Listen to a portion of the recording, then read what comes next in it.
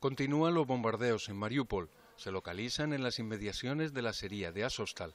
Denuncian que están utilizando bombas de fósforo blanco. Son cientos de bolas de fuego que no se pueden apagar con agua. Los pocos residentes que quedan en esta ciudad portuaria intentan sobrevivir. Natalia nos muestra su casa. Un incendio en su edificio redujo a cenizas todas sus pertenencias el 4 de abril. От этого всего шок, еще неизвестно, что выходишь, и еще непонятно, куда и дальше двигаться. Э, Rusia se sigue negando a negociar la liberación de los militares que continúan atrincherados en la sería de Azovstal desde hace varias semanas. Продовжуємо дуже складні, делікатні переговори, щоб врятувати наших людей з Маріуполя, з Азовсталі.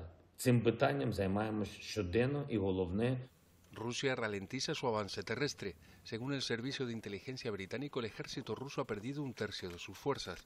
En cambio, ha aumentado la contraofensiva ucraniana. Intentan recuperar el Donbass por completo. En Kharkiv, las tropas rusas se están retirando, lo que ha permitido reactivar las estaciones de distribución de gas para más de 3.000 consumidores. Два километра и дальше э, русские солдаты. Каждый день прилеты, каждый день идут какие-то э, попытки контрнаступления. Según los últimos datos de Naciones Unidas, más de 3.500 civiles han muerto en esta guerra.